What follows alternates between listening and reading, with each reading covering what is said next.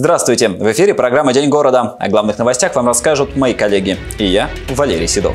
Ни денег, ни путевки, как рязанская турфирма наживалась на своих клиентах. День лишних лекарств. В Рязани появился контейнер, куда можно сдать медикаменты с истекшим сроком годности. Важная дата для ОМОНа, как силовики празднуют день рождения. Хозяйка Ватной горы, мастерица из Кораблинского района, создает куклы из подручных материалов. Сезон отпусков завершен, но есть и те, кто о поездке мечтает уже два года. Рязанская турфирма оставила с носом почти два десятка человек. Общий ущерб больше 12 миллионов рублей. Пострадавшим не помог даже суд. Жалобы выслушал Герман Гущин. 29 сентября 2019 года все мы покупали путевки ИП Перфильева, которая выступала официальным представительством от Coral Travel. Вот. Ну и купив путевки, так называемый отдых, мы не улетели на отдых. Она просто-напросто нас всех обманула. Причем обманула не только нас здесь присутствующих, но обманула еще людей, которые являются иногородними. Этой запутанной истории уже два года. Но люди пока так и остаются ни с чем. Нет ни путевок, ни денег за них. География обманутых частным туроператором широка. Тула, Москва, Рязань. И вроде как первые звоночки о недобросовестности звучали и раньше. Но туристы думали пронесет, но их накрыло. Это что происходит? Год начались проблемы в туристическом бизнесе с островом Сокровищ. В 2019 году начались проблемы в туристическом бизнесе этой Паперфильева. В 20 начало года это розовая пантера. То есть каждый год э, шло безобразие именно обман туристов э, в плане отправки их на отдых. При этом на самом деле очень сложно э, мы добились возбуждения уголовного дела. Мы добивались несколько месяцев. В итоге, после того, как э, два года, два года после того, как завели уголовное дело, э, мы доводили все это до суда. И в итоге вынесен вот такой э, судебный приговор, конечно же. Это просто расценивается нами как плевок.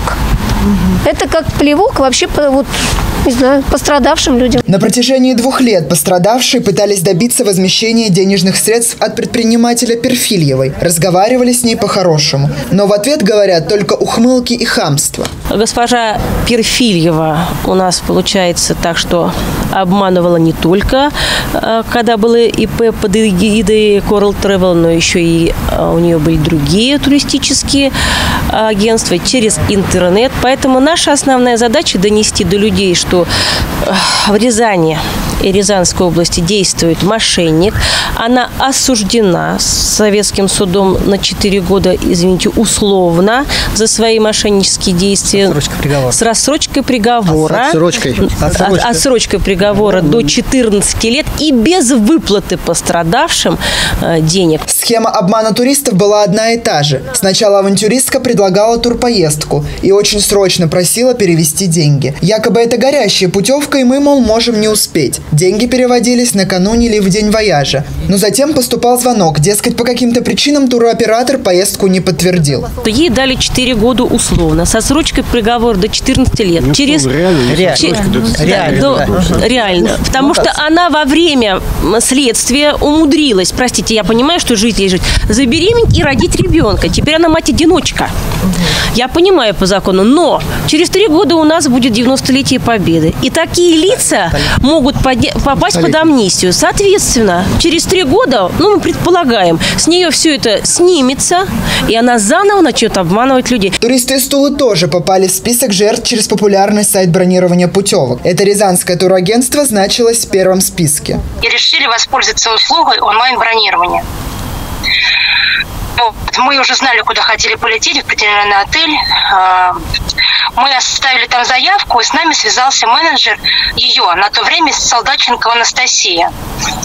Она рассказала нам об этом туре, нас все устроил, но ответ мы не давали, поедем мы или нет.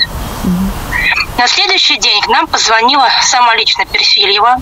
А мы еще так удивились, ну, не московский, получается, номер, а ваш вот рязанский. Мы на следующий день едем у себя в Туле, э, в, тоже в агентство Coral Travel, и посмотреть, на самом деле есть такое или нет. Угу.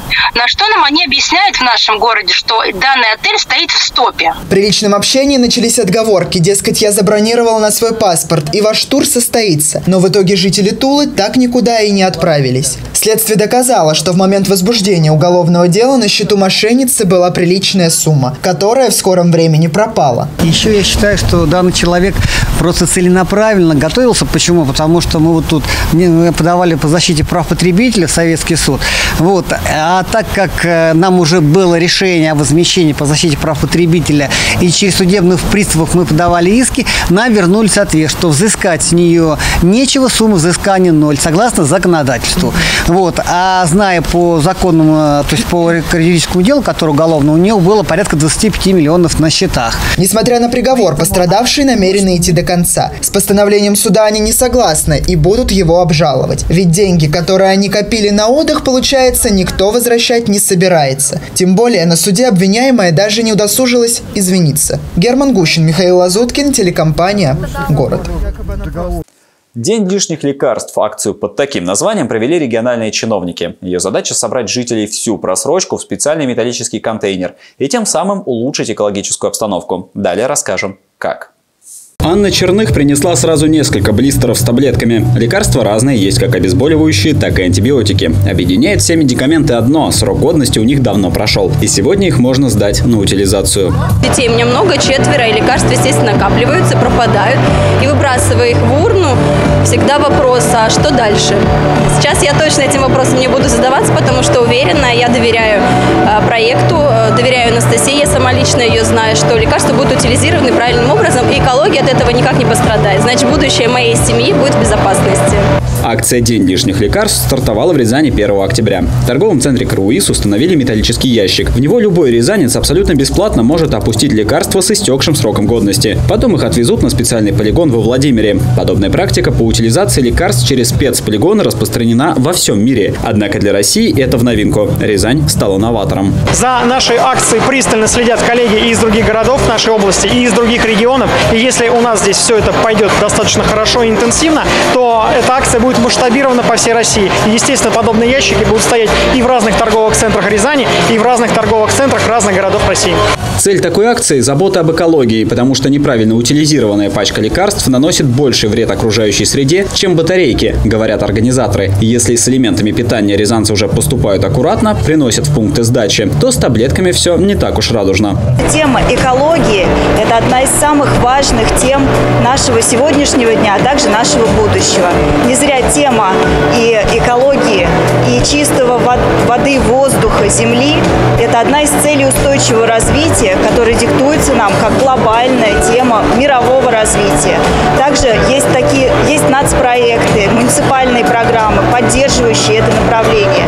Мы готовы всегда присоединяться к таким акциям и делать все возможное от нас, чтобы они возникали чаще и больше на территории нашего города. Металлический ящик для сбора просроченных лекарств простоит в круизе месяц. Потом отправится в тур по торговым центрам. Месяц в Виктории Плаза, столько же в Алине и обратно в круиз. И уже в зависимости от того, как эта акция отзовется у рязанцев, решится ее дальнейшая судьба. Валерий Седов, Дмитрий Ефимов, телекомпания «Город». 3 октября в России отметили День образования ОМОНа, отрядов мобильных особого назначения. С начала этого года сотрудники подразделения управления Росгвардии по Рязанской области выполнили более 800 задач. Передали полиции свыше 50 человек подозреваемых в совершении преступлений. Накануне праздника силовики провели так называемый полевой выход.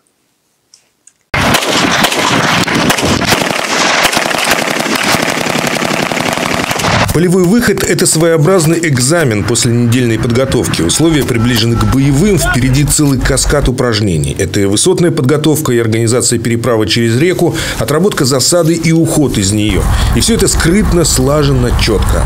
Поиск и задержание преступников – элемент обязательный. Внимание, легкоземлю! Легкоземлю! Руки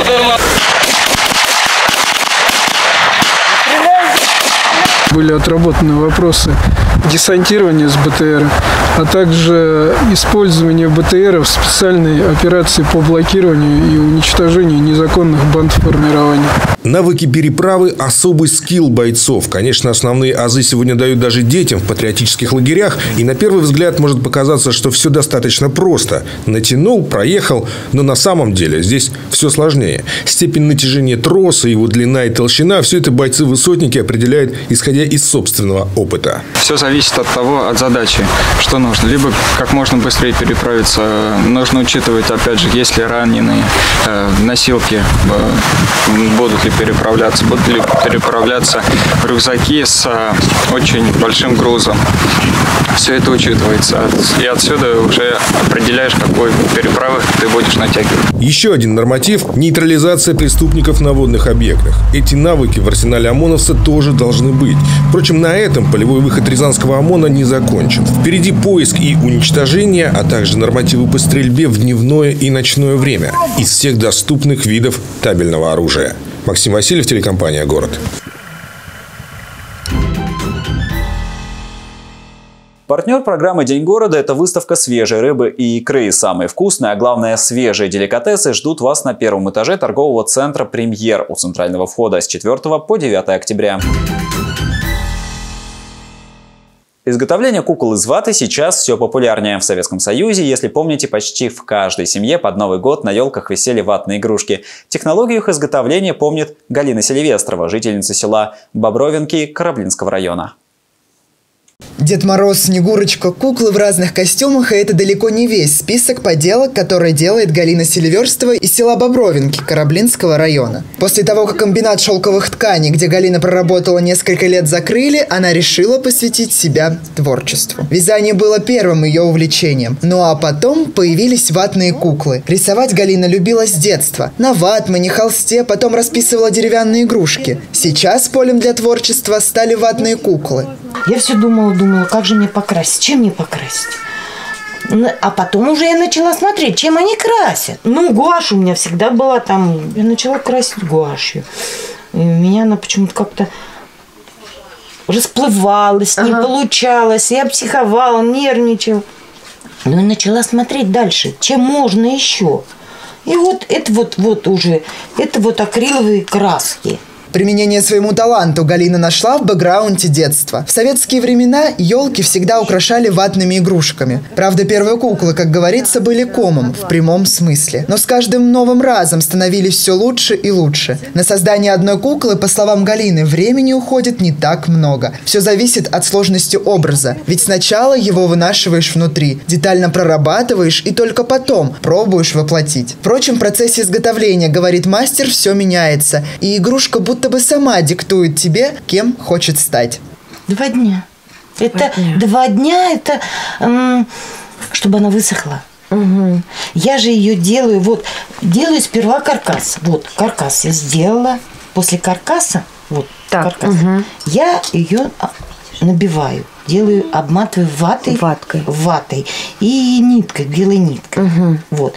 Потом я набиваю тело. Ну, чтобы он человечек. Угу. Это же вот скелет получается. А это уже человечек уже. В своей мастерской, по словам Галины, она может просидеть полночи. А у соседей уже появилась собственная примета. Если в комнате мастерицы горит свет, значит завтра можно приходить смотреть новые произведения искусств. А еще Галина – бабушка восьми внуков и внучек. Они с удовольствием помогают ей творить. Например, делают некоторые детали композиции. Свое творчество ватных дел мастер раздаривает друзьям и родственникам. А еще в местном клубе иногда устраивает выставку своих работ. Вообще занятие таким видом творчества способствует развитию мелкой моторики. Но идей и планов у Галины Селиверстовой много.